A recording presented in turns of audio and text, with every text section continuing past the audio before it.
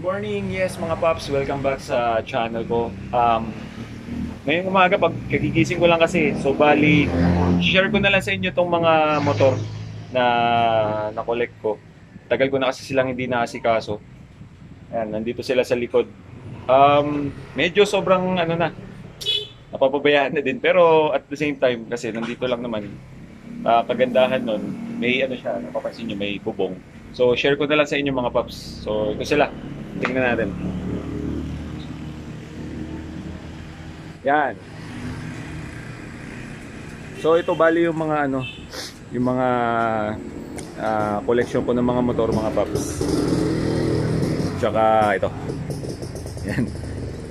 Ito, napapansin nyo, ano na eh. Uh, dami pang kulang. Anyway, dito muna tayo. Start tayo. So, ito, ito yung mga motor ko. Ito yung pinakamatanda ko na motor, bali ito yung Kawasaki Agila 1977 model. Uh, all original yan. Original paint. Ito lang ang hindi original. Yung mga accessories tsaka itong upuan. Pero original tong ano niyan, yung pintura, yung emblem, tsaka yung makina. Although medyo meron pa rin siyang mga kulang uh, sa susunod i-ano natin yan i-restore talagang ano eh sobrang hectic talaga ng schedule ko. Wala rin akong time para maasikaso sila. Pero yun natutuwa lang ako kasi at least uh, na save ko sila. Kasi kung mapapansin nyo eh, no, ang kagandahan kasi pagka may bubong kahit pa paano hindi sila direct sa araw sa ulan. Kahit uh, ma-stock sila dyan ng isang taon, ilang taon, dalawa, tatlo, apat, lima okay lang, okay lang sila dyan. Bali, ang tagandahan lang naman pagka merong ano, merong bubong, yun, uh, safe sila sa mga kahit anong ano, uh, araw, para hindi sila kukupas. Kaya, yun.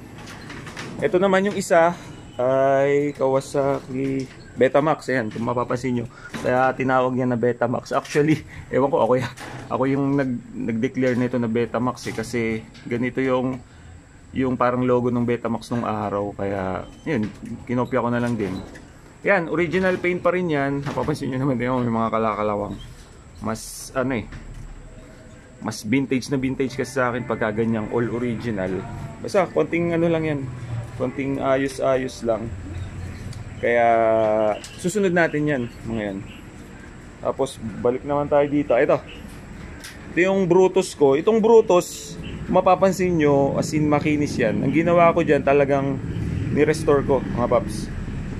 Uh, unti-unti ko siyang binabalik sa original kahit kung mapapansin nyo, meron pa siyang mga pyesa, mga accessories na hindi pa original.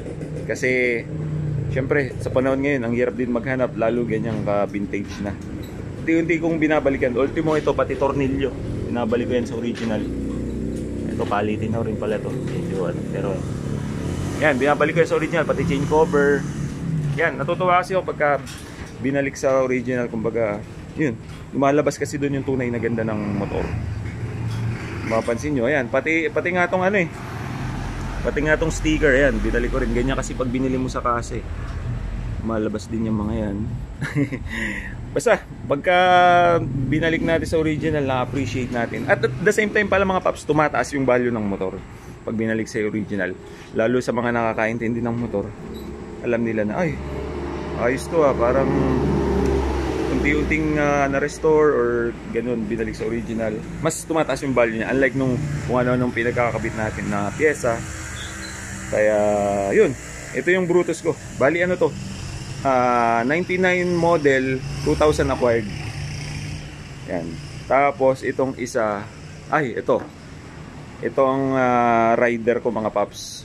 All original, all paint, original, accessories, lahat original yan. Uh, ito lang ang mapapansin nyo, ito lang yung napalitan. Kasi yung handlebar, tsaka yan yung pinakang tinidor. Kasi nangyari doon sa original yan, nagkaroon ng leak sa ganito. Sa sa oil seal. Kaya pinalitan ko muna kasi wala akong makita nung time na yon. Pero ibabalik ko sa original. Nandito naman sa akin yung original niyan. Eh, nandun nakatago lang. Pero papasin nyo, all original yan. Paint original. Lahat, pati makina nga niyan, hindi pa nabubuksan kaya natutuwa ako sa rider na to. Ito yung unang-unang lumabas na rider dito sa sa amin nung mga panahon na 2000 I think 2005 yun unang lumabas to. Talagang nung lumabas yan sikat na sikat talaga yung rider niya. Kaya kumbaga it is ano one of the legendary motorcycle kasi alam mo na yung rider ito yung powerful na engine at at the same time ngayon siya yung naka-declare na king of underbone. Kaya mas preferred ko sa kanya yung ibalik din sa original ito, hinahanapan ko rin yan ng original decals kasi medyo faded na yan. Ang nangyari pala dito mga paps kaya ganyan kasi dun sa parking sa Meralco, nakadik nakabilad siya. So so meaning hindi siya ano, hindi siya talaga nasa covered na parking kaya mangyari ganyan, kumupas siya. So, biro may ilang taon, dito lang to nagpahinga mga I think 2020 araw-araw gamit yan. So kaya ganyan na nangyari. Ultimo pati nga itong mga ano kumupas na eh. Upuan. Ito yung upuan di naman to original eh. Napalitan na rin yan kasi nga sa katagalan na din. Yan. Sobrang sobrang tibay nitong motor na to. Kaya yan ire-restore ko rin yan katulad nitong Brutus. Pagka may time babalik natin sa original. Tingnan mo naman kung kung ganito ang kulay niyan magiging ganon siyempre di ba mas ano siya, mas gaganda. Ultimo mga ano niyan, yung etong side stand, kick ah sa kabila, yung kick, tsaka itong cambio, original yan, pati nga itong goma eh. Hindi pa napaparitan yan, simula nung umpisa. Yan pa rin. Tingnan mo, bro, may taon na yan. Lagpas 10 years na. Yan, original pa rin yan, pati ito, sprocket, lahat. Yung gulong hindi na. So, re-restore natin yan. Kasi, kumbaga, yan yung ano eh, uh, unang labas ng rider dito sa Pilipinas. Na Rider 150. Kaya nung lumabas yan talagang as in sobrang sikat na sikat. Mga bata kami, mga bata nung time na yun. Papalakpakan pa kami pag dumaan yan. Kaya, as in, yan, sobrang sikat yan. Ang katambal naman yan, nung lumabas, ito yung sniper ko na 135 ayan, ayan dalawang yan na nagtatalo ng araw ng panahon nila. Itong sniper naman ang nakakatuwa dito kasi uh, na maintain yung original look niya. Mapapansin nyo yung decals niya yan, original pa yan.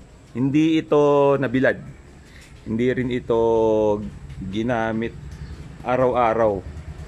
Kasi uh, once a week lang to ginamit nung according to dun sa ano ah, dun sa dating may-ari kasi second owner ako nito eh. Ang unang may-ari nito taga dito din. Kaya yun, natuwa ako kasi all original pa yung itsura niya. Yung mags lang ang pinalitan na Inkai 17 harap at likod. Pero yung mga ano niyan, ito pa rin, intact pa rin, original. Yung cambio, tsaka yung tambucho, yung kick yan. Kaya natutuwa ako dahil na-maintain pa yung original. Ngayon pala mga paps ito muna yung ginagamit ko pang araw-araw. Pamasok sa trabaho pang dito dito kasi bukod sa matipid komportable din siya dalhin. Unlike nitong mga to. Yan, malalakas sa gas yan. Sa panahon ngayon uh, kailangan magtipid muna tayo. Yun. Dati yun ang gamit ko. Eh ito muna kasi mas matipid sa gas So, okay na tayo dito. Next. Ito naman. Yung Kawasaki Kidlat ko. Kung mapapansin nyo, unang tingin nyo palang mga paps, talagang ano eh. Putol yung upuan. Yung handlebar niya, inano ko ng vintage talaga. Yung yung parang uh, mga unang labas ng handlebar. Actually, may plano ako dito. Hindi ko lang ma masimusimulan, masi-asikaso kasi sobrang busy talaga.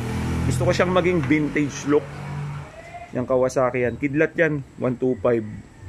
Bali 1997 model to eh. 1997 model. Yan. Marami pa siyang kulang. So, sa susunod, isisingit ko to. Kasi wala, wala nang time talaga eh. Natutuwa lang kasi ako dahil parang sa gusto ko nga siyang isabit na lang dito natutuwa ako eh. Para para kumbaga lagi lang siyang wala hindi ko naman siya ginagamit na eh so yun nakasabit siya pupunasan na lang may nakita ako kasi isang beses na ano eh, na collector din ng mga motor ayun yung mga motor niya nakasabit Kumbaga, hindi naman siya totally nakasabit. Parang meron lang siyang lagayan na uh, pinagawa eh. Kahoy yun eh. Tapos nasa ibabaw yung mga motor. Pero mga naka-restored na. Kaya magandang tingnan. So, ayan. Marami pang kulang. Kung papasin nyo, original pa rin yan. Tangke, mga kalawang pa din. Tapos, ayan. Ito naman yung Mio ko.